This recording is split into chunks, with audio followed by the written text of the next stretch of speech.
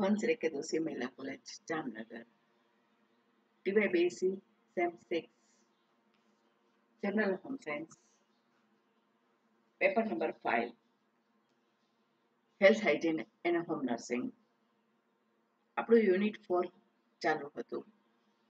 જેમાં જુદા જુદા પ્રકારના પાટાઓ કઈ રીતે બંધાય એ આપણે જોયું.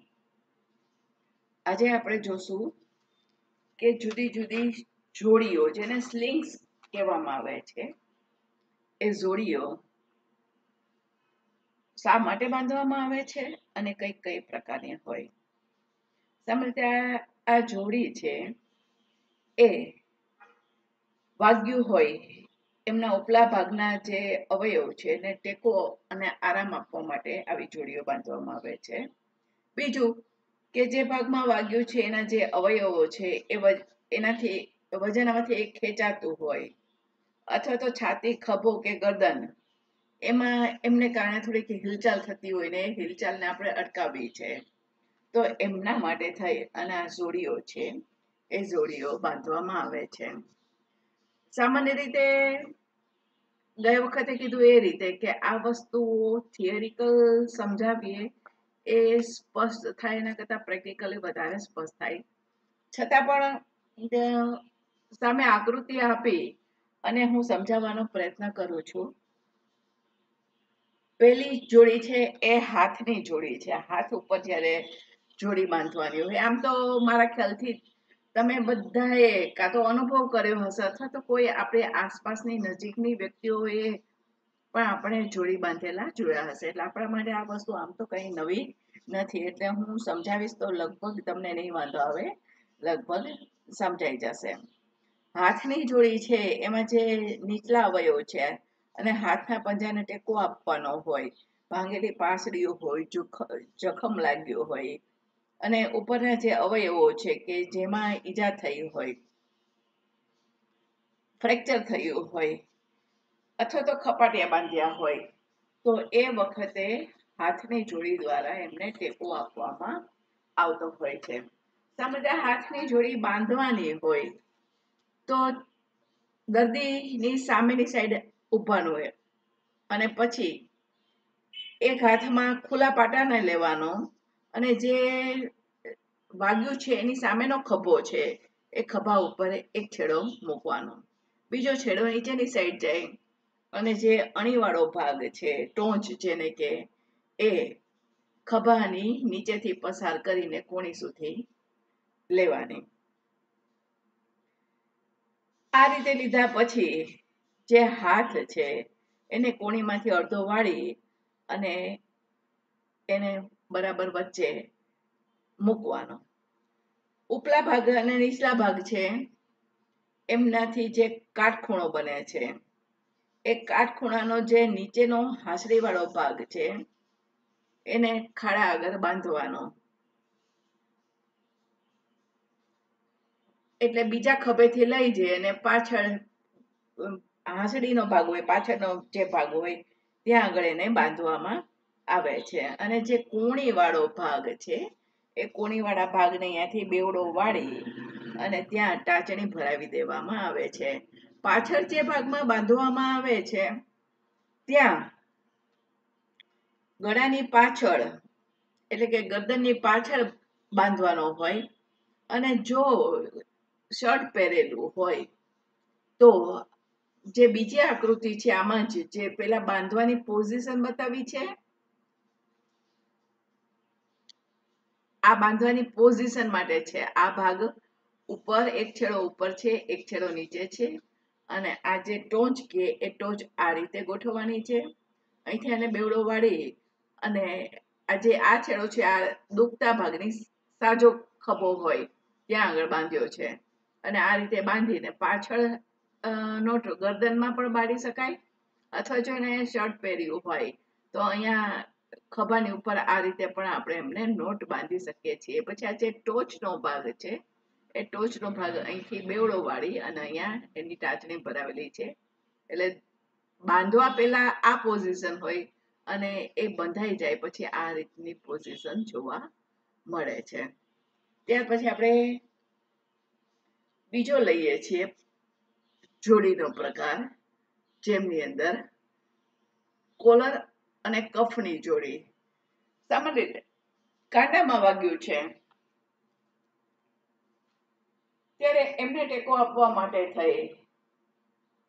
અને આવી હાસડી અને કફની જોડી છે એ બાંધવામાં આવે છે. આમની અંદર જ્યાં ગાંઠ મારવામાં આવે છે, એનું મહત્વ વિશેષ છે. એટલે અહીંયા આ રીતેનો જે વળાંક લેવામાં આવે છે અને અહીંયા એને ગાંઠ વાળવામાં આવે છે. મેજોરિટી આ ગાંઠો આગળની સાઈડ હોય છે, ત્યાં પાછળ વાગવું જોઈએ. નહીં પાછળ લાગે એ રીતે ગાંઠ બાંધવી જોઈએ. નહીં. જ્યારે આપણે કાંડાને આપવાનો છે ટેકો, એટલે પહેલાં તો ઈજા પામેલો ભાગ છે, એને કોણીએથી વાળી અને બાજુનો જે નીચલો ભાગ છે એ છાતીને અડાડી અને એવી રીતે મૂકવો કે જેને પરિણામે આંગળા છે એ ખભા બાજુ આવે, આ આંગળા છે એ વાગ્યું વાળ્યું અને ખભા બાજુ આવે એ રીતે રાખવાના. અને કાંડાની આસપાસ છે, એને આ આટાવાળી ગાંઠ, આ જે છે એ આટાવાળી ગાંઠ, આ આટાવાળી ગાંઠ એને ક્લવ હિંચ નોટ કહેવામાં આવે. જે હું નેક્સ્ટ આના પછી કઈ રીતે એ હિંચ હોય છે એ બતાવું છું.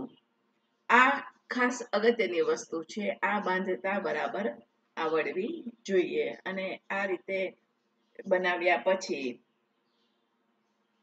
ઉપરનો જે આ સાંકડો પટ્ટો છે એનાથી ગળે ફાંસો આપવાનો છે. ફાંસો મીન્સ કે ફાંસીના ફાંસાની વાત નથી થતી, બરાબર છે? પણ એના એ રીતે બાંધવાનો છે. એટલે હાથ છે એ આ રીતે રે અને એમને આ કાંડાને અહીંથી ટેકો મળી છે આ રીતે હાથ બાંધાયેલો રે તો સામાન્ય રીતે આ ગાંઠ બાંધી દીધા પછી આ ગાંઠ બાંધી દીધા પહેલા આ રીતે હોય આ ભાગથી એને ગાંઠ બાંધવાની. આ ભાગ છે એ આટાવાળી ગાંઠ અથવા કલ્વ હિચ નોટ કે છે એ બાંધવાની છે.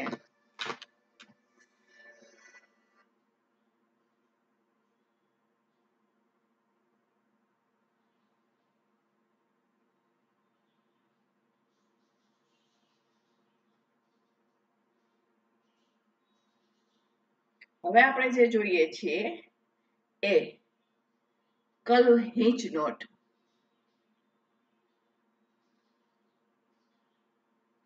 આ, એટલે જે કાંડા ઉપર જે આટાવાળી ગાંઠ આપી છે, એ બાંધવાની રીત છે. અહીંથી આ છેડો લઈ આ રીતે પસાર કરવાનું અને અહીંથી આ રીતે, આમ બે રીતે.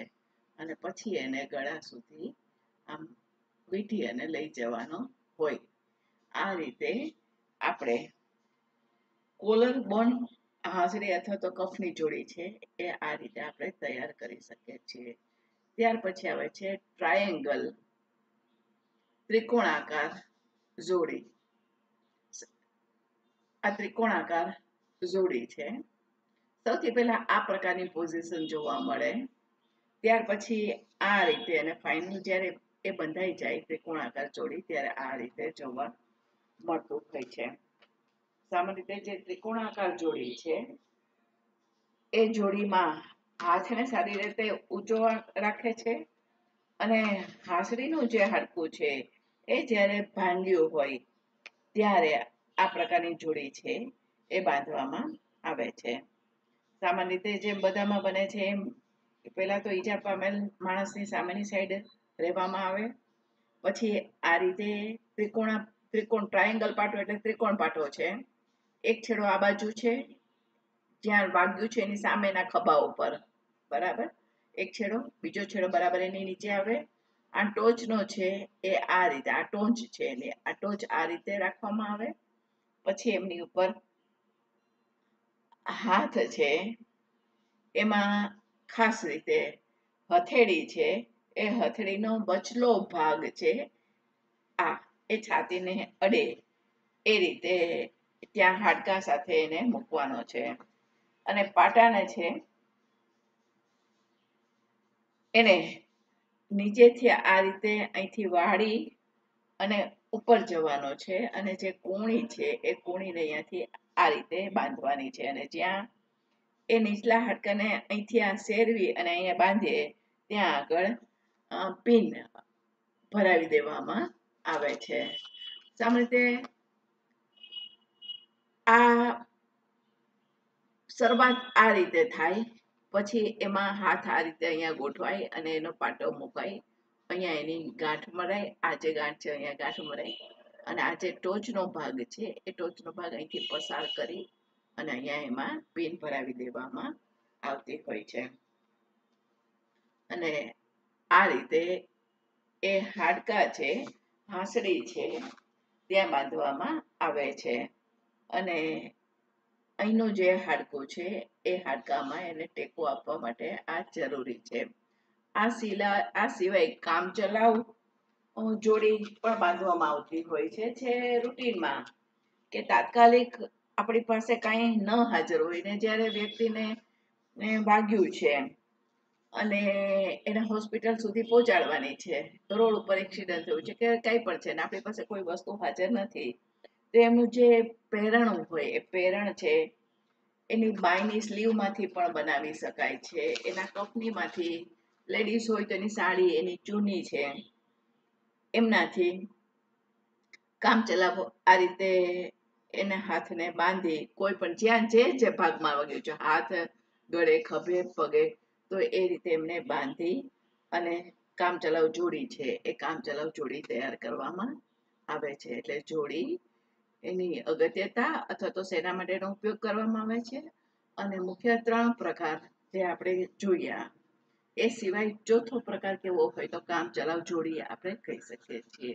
અને આ રીતે જુદા જુદા પ્રકારની જોડીઓ અને એમના ઉપયોગો ને કઈ રીતે આપણે બાંધી શકાય એમની વાત કરી. અહીંયા આપણું ચોથું ચેપ્ટર પૂરું થાય છે. હવે આપણે નેક્સ્ટ લેક્ચરની અંદર પાંચમું ચેપ્ટર શરૂ